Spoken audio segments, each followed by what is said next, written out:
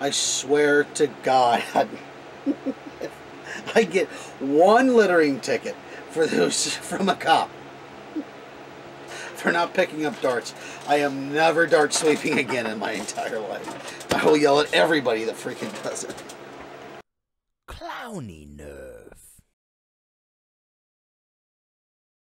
Hey guys, it's your Uncle Clownie coming to you for a quick little announcement on behalf of the Altoona Nerf Club.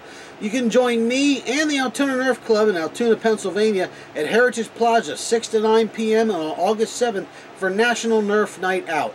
It's the Altoona Nerf Club and uh, the local PD nerfing against each other and with each other a nice little community outreach get together program which is stuff I think we should happen more often than not.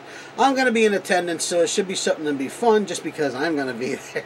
Now now uh, I'm always for any kind of charity giveaways and things like this and anything that can you know bolster uh, appearance on both of our behalves or just go out and have fun is a good idea.